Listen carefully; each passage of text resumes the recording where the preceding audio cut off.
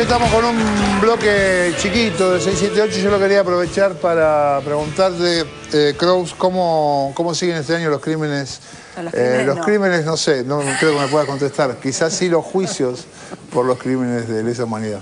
Empezamos con muy buenas noticias porque el, año 2010 terminó con algunos fallos de la Corte Suprema eh, en el cual se revocaron escarcelaciones que muy generosamente fueron concedidas por muchos tribunales del país eh, a, criminales de lesa humanidad o a acusados.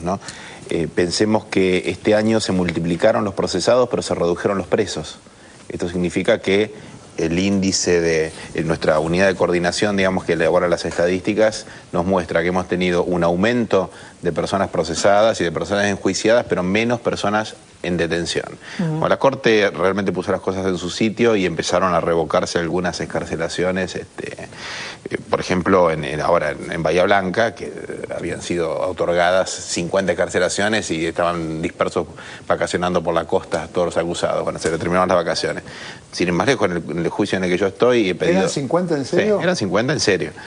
Este, ahí, bueno, el fiscal ha hecho un, trabajo muy, muy tesonero y logró revertir esta, eh, esta situación gracias a estos fallos de la Corte. Yo estoy en un juicio en este momento donde el, jefe del centro clandestino de detención espera el juicio sentado en un sofá fumando con boquilla mientras los sus torturados este, esperan en el antesala para entrar a declarar. Es un disparate, como si Ribbentrop este, o, Himmler llegara este, a, a tribunales en taxi, a Nuremberg en taxi.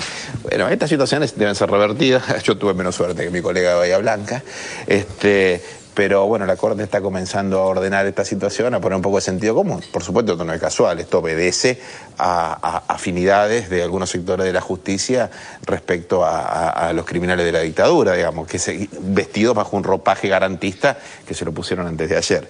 Este, y este año creo que junto con el año que pasó serán los años más importantes en la cantidad, de, cantidad y calidad de los juicios que se van a llevar a cabo en el país. Así que nos espera afortunadamente un año de mucho trabajo. Bueno, muchas gracias, muy bien. Y te digo...